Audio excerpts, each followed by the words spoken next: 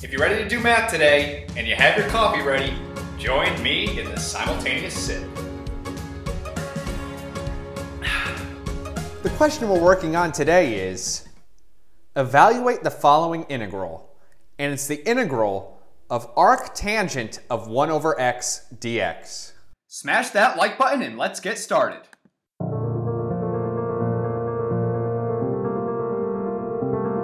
So we're going to evaluate the integral of arctan of 1 over x dx by using integration by parts. We'll let u equal this whole function, arctan of 1 over x.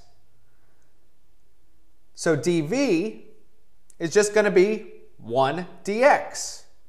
We take the derivative of u and we get 1 over 1 plus 1 over x squared times the derivative of 1 over x, which is negative 1 over x squared. And the integral of dv gives x.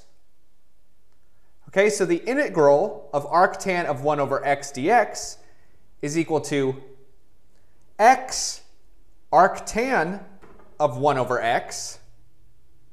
So that's uv minus the integral of v du. So minus the integral, the numerator is negative x, and the denominator, when you multiply that x squared through, you get x squared plus 1. dx. And to evaluate the integral of negative x over x squared plus 1, we would do u substitution. We've already used u, so let's use the letter w. w is x squared plus 1. The derivative of w is 2x dx. So the integral we're trying to evaluate is x arc arctan of 1 over x. Okay, we have two minuses, so plus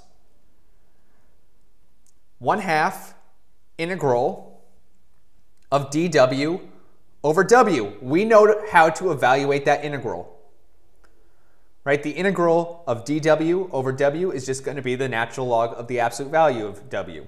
So we have x arctan of 1 over x plus 1 half ln of the absolute value of w plus c.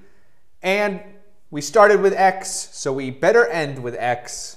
So we have x arctan of 1 over x plus 1 half the natural log of the absolute value of x squared plus 1